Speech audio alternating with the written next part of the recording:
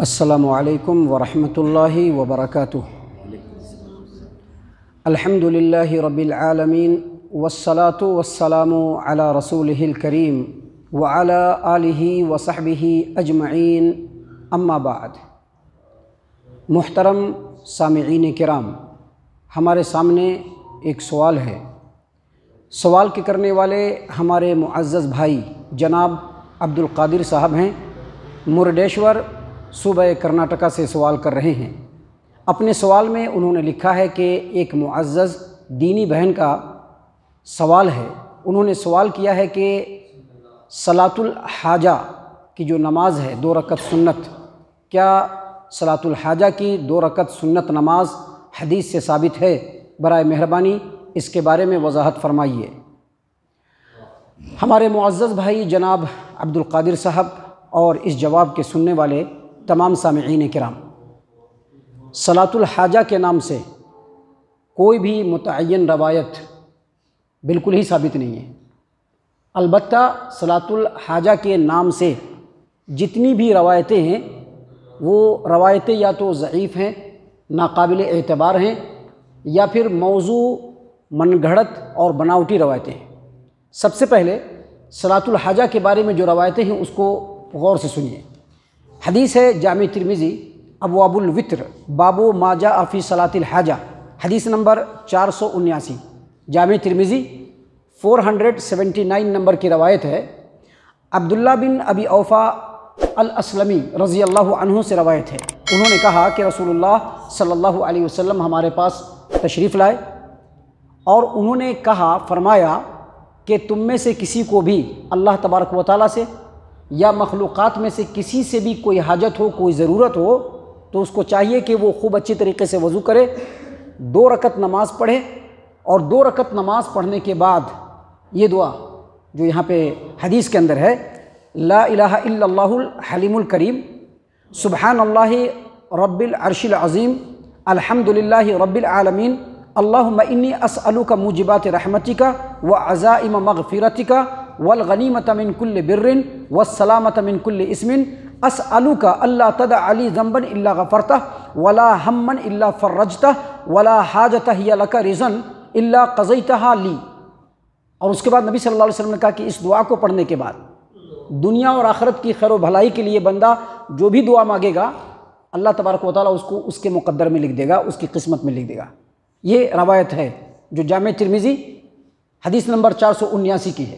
ہم آپ کو بتلا دیں کہ یہی روایت سنن ابن ماجہ حدیث نمبر ایک ہزار تین سو چوراسی پہ بھی ہے۔ لیکن اس حدیث کی سند میں ایک راوی ہے جس کا نام ہے فائد بن عبد الرحمن یہ جو راوی ہے، محدثین، شارحین، ماہرین جرح و تعدیل، جتنے بھی ماہرین علماء کرام ہیں، انہوں نے اس راوی کو بالکل ضعیف قرار دیا ہے۔ امام بخاری رحمہ اللہ، جو کہ حدیث میں، اصول حدیث میں حدیث کے سند و متن میں بہت ہی بڑا مقام رکھتے ہیں۔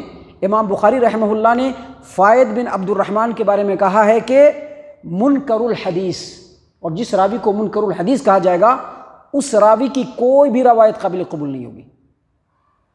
معزز سامعین اکرام، اسی طرح سے، اسی طرح سے امام حاکم رحمہ اللہ نے فائد بن عبد الرحمن کے بارے میں کہا ہے کہ فائد بن عبد الرحمن عبداللہ بن ابی اوفا رضی اللہ عنہ سے موضوع بناوٹی اور من گھڑت روایتیں بیان کرتا تھا۔ تو آپ سمجھ سکتے ہیں کہ جو روایت ہے جامع ترمیزی کی، یہ روایت صنعت کے اعتبار سے بالکل ہی نا، ناقابل اعتبار ہے، بہت ہی سخت ترین ضعیف ہے۔ لہٰذا اس روایت کے اوپر عمل نہیں ہو سکتا ہے۔ اسی طرح سے ایک اور روایت ہے، جس کو امام البانی رحمہ اللہ نے سلسلۃ الاحادیث ضعیفہ دیکھیے امام البانی رحمہ اللہ کی دو کتاب ہے سلسلۃ الاحادیث صحیحہ اس کے اندر انہوں نے صرف صحیح روایتوں کو نقل کیا ہے۔ صحیح روایتوں کو اس میں پیش کیا ہے۔ اور ان کی دوسری کتاب ہے سلسلۃ الاحادیث ضعیفہ اس کتاب کے اندر جو بھی روایتیں انہوں نے پیش کیا ہے، وہ روایتیں صنعت کے اعتبار سے بھی، منت، متن کے اعتبار سے بھی بالکل ہی کمزور ہے، ناقابل اعتبار ہے، ضعیف ہے۔ لہٰذا روایت ہے کہ انس بن مالک رضی اللہ عنہ بیان کرتے ہیں۔ سلسلۃ الاحادیث ضعیفہ حدیث number five thousand two hundred eighty seven number کی روایت۔ وہ کہتے ہیں کہ انس بن مالک رضی اللہ عنہ بیان کرتے ہیں کہ نبی صلی اللہ علیہ وسلم نے فرمایا، اے علی، میں تجھے ایک دعا نہ سکھاؤں کہ جب تم کو کوئی غم ہو، کوئی پریشانی ہو، تو اپنے رب سے دعا کرو، اللہ کے حکم سے دعا قبول ہو اور تمہاری پریشانی اور غم سب دور ہو جائے۔ اس کے بعد پھر انہوں نے نبی صلی اللہ علیہ وسلم کے قول کو یہاں پر نقل کیا گیا ہے کہ نبی صلی اللہ علیہ وسلم نے فرمایا کہ دیکھو، وضو کر کے دو رکت ادا کرو۔ اللہ تبارک و تعالیٰ کی حمد و ثنا بیان کرو۔ اپنے نبی کے اوپر درود پڑھو۔ اور اپنے لیے اور مومن مرد اور مومن عورتوں کے لیے اللہ تبارک و تعالیٰ سے بخشش کی دعا کرو اور اس کے بعد ایک دعا سکھلائی۔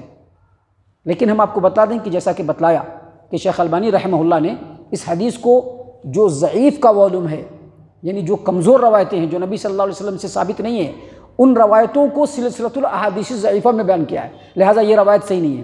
دوسری بات، امام البانی رحمہ اللہ کی ایک اور کتاب ہے ضعیف الترغیب و ترغیب اس کے حدیث نمبر چار سو سترہ پہ اس روایت کو شیخ البانی رحمہ اللہ نے سخت ضعیف کہا اور کہا کہ اس روایت کی جو سند ہے، دیکھیے اگر سند صحیح نہیں ہوگی، روایت بھی صحیح نہیں ہوگی۔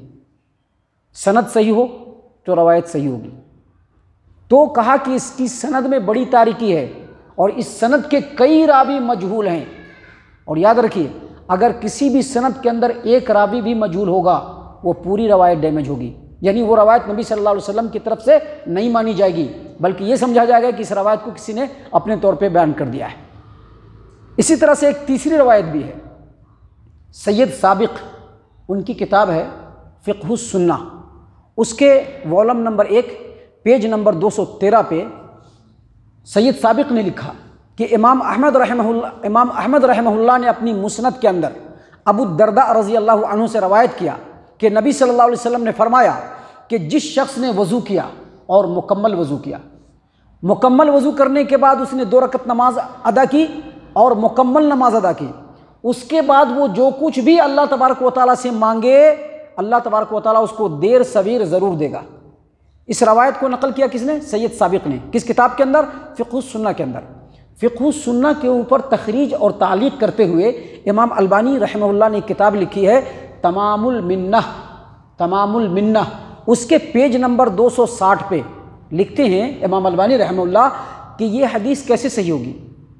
یعنی یہ حدیث صحیح نہیں ہو سکتی ہے۔ یہ حدیث بالکل ناقابل اعتبار ہے۔ کیوں ناقابل اعتبار ہے؟ کیونکہ اس کی سند میں ایک راوی ہے، میمون ابو محمد المرائی التمیمی۔